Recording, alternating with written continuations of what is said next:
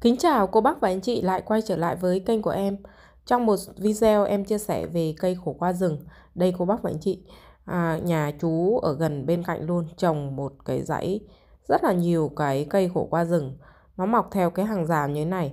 Khổ qua rừng thì cái trái nó sẽ nhỏ như thế này thôi nha cô bác và anh chị, nó sẽ không lớn. Đây, em sẽ hái một số trái để cô bác và anh chị thấy. Nó chỉ khoảng bằng ngón tay cái là to hết cỡ rồi.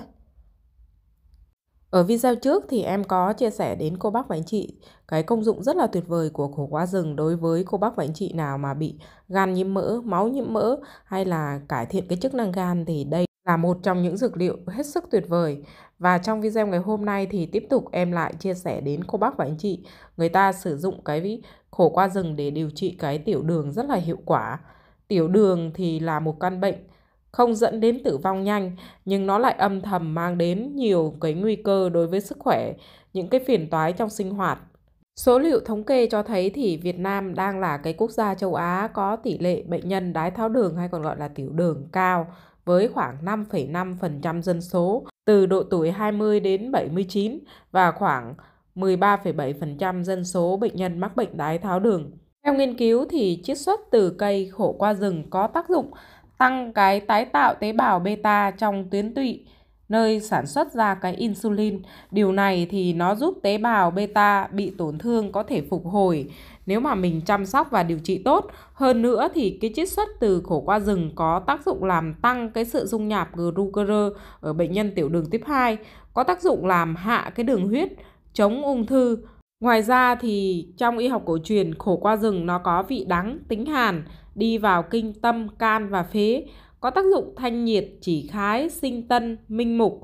Từ lâu, dân gian đã sử dụng khổ qua rừng để điều trị tiểu đường và các cái bài thuốc liên quan đến bệnh tiểu đường. Cô bác và anh chị thấy một nắm khoảng 5 7 trái thì nó cũng chỉ nhỏ như thế này thôi. Cô bác và anh chị mình trồng cái này rất là tốt nha. Mình có thể ăn sống này, mình có thể làm nước ép này, mình có thể làm trà mình uống này. Và bây giờ thì em sẽ chia sẻ đến cô bác và anh chị cái cách mình sử dụng khổ qua rừng để điều trị tiểu đường cho cô bác và anh chị nào bị tiểu đường nhé. Cái cách đầu tiên đó là đơn giản nhất, cô bác và anh chị mình ăn sống cái khổ qua này. Mình ăn sống rất là đơn giản. Cái khổ qua này thì nó hơi nhận nhận đắng thôi nha cô bác và anh chị, nó không đắng nhiều đâu.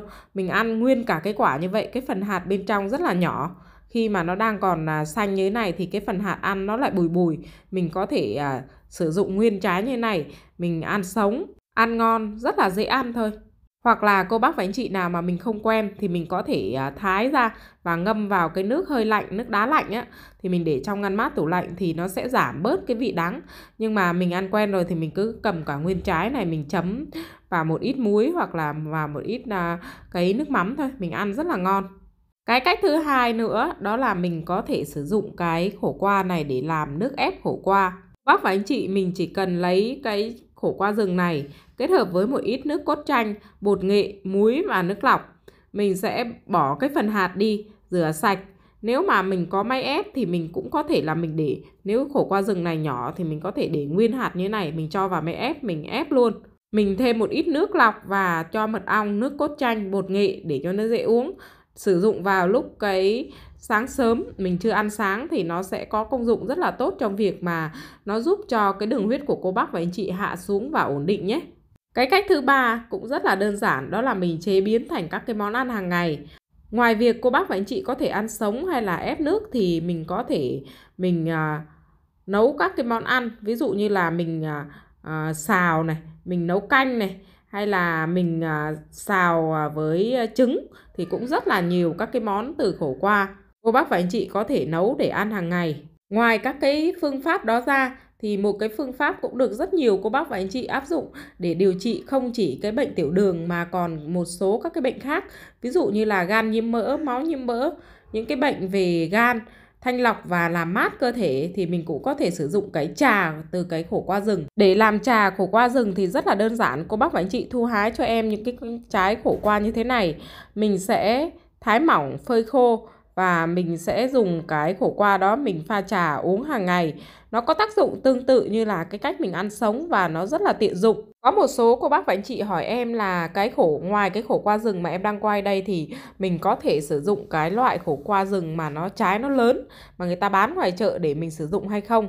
Thì à, hoàn toàn mình có thể sử dụng cái trái khổ qua đó để thay thế. Tuy nhiên cái phần dược tính nó sẽ không cao bằng cái loại khổ qua rừng nhỏ xíu mà em đang quay này. Vì cái loại này á, mình trồng rất là dễ. Chỉ có mỗi tội là cái trái nó rất là nhỏ. Không được năng suất như cái loại khổ qua mà cái trái nó lớn. Tuy nhiên thì cái phần dược tính rất là tuyệt vời của bác và anh chị. Đây, nó chỉ là lớn như thế này là hết rồi. Nó không có lớn hơn nữa đâu. Khi nó chín thì cô bác và anh chị sẽ thấy là những cái trái mà màu cam vàng rất là tuyệt vời. Mình có thể lấy hạt về mình gieo nhé đây, em lại lấy được một nắm nữa rồi này. Tuy là nó hơi nhỏ một chút xíu nhưng mà rất là nhiều trái nó nằm lẫn ở trong lá. Cô bác mình chị cứ vạch ra mà mình lấy thôi. Mỗi bữa ăn thì mình chỉ cần khoảng 3 nắm như thế này là đủ rồi. Đây cô bác và anh chị đây là cái quả chín này. Nó sẽ test cái phần quả ra như thế này. Rất là tuyệt vời. Cái quả này nó rụng xuống thì nó lại bắt đầu cái hạt nó rụng xuống thì bắt đầu nó lại lên cây con nữa. Video của em chia sẻ về cây khổ qua rừng đến đây cũng kết thúc với cái điều rất là tuyệt vời đối với cô bác và anh chị nào bị tiểu đường, bị gan nhiễm mỡ, máu nhiễm mỡ. Xin chào và hẹn gặp lại cô bác ở các video tiếp theo.